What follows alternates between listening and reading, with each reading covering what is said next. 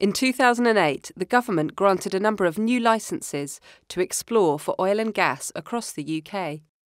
A number of these cover the Weald area in Sussex and are held by oil exploration and production companies Cuadrilla, Celtic Energy, and iGas. Cuadrilla are currently drilling an exploratory well in Balcombe, while Celtic are applying for permission to drill at a site near Fernhurst, inside the South Downs National Park. Celtic have identified a number of gas leads and prospects within their licence areas, but are particularly interested in an area of geology that has potential to extract gas using hydraulic fracturing, or fracking. The proposed site is down narrow country lanes and is made up of agricultural land surrounded by mature woodland and ancient hedgerows. About 150 metres to the south of the site is a historic furnace pond, an archaeological site. So, what would this site look like if the proposals are allowed to go ahead?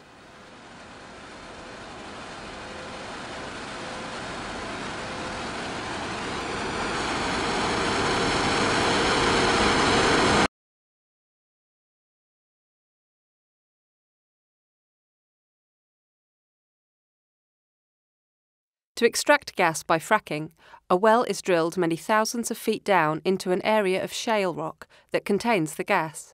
Millions of gallons of water, mixed with sand and fracking chemicals, are then forced into the well under massive pressure.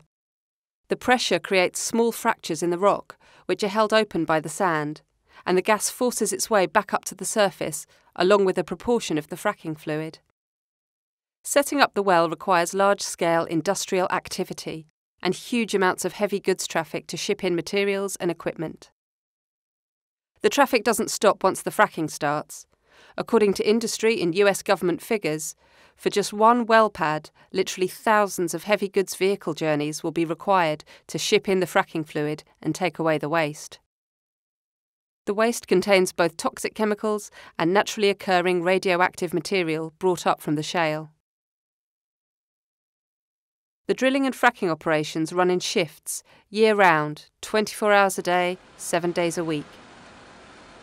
Large amounts of noise and pollution are created by the drilling equipment and by diesel generators needed to power the fracking operation. To allow the all night working, massive floodlights are needed, causing light pollution throughout the surrounding area. Gas needs to be periodically vented and burned, creating more light, noise, and air pollution.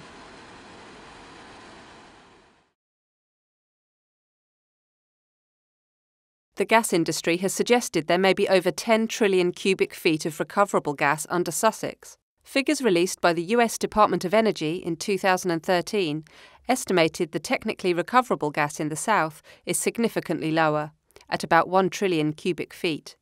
That's enough to supply the UK for just a few months. Celtic believe that they can extract gas in Sussex from around 467 square kilometres. According to US Department of Energy figures, top performing wells can yield about 5 billion cubic feet per well. Average performing wells yield about 1 billion cubic feet per well. Based on this data, extracting the industry estimated amount of gas would require between 2,000 to 10,000 wells across the area.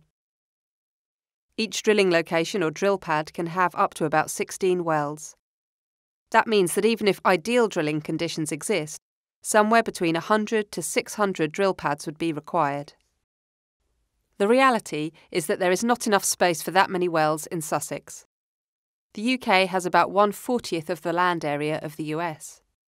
But what does even 60 drill pads look like across the national park and Sussex?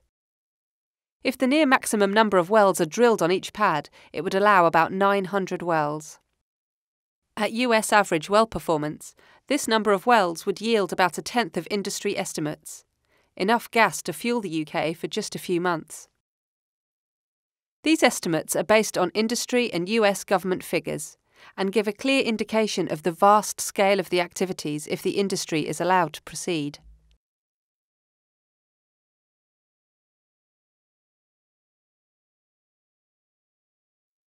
As well as an immediate and highly destructive impact on communities, fracking carries proven long term risks to the environment. Fracking can cause small earthquakes and leak methane and toxic chemicals from the well while it's in use.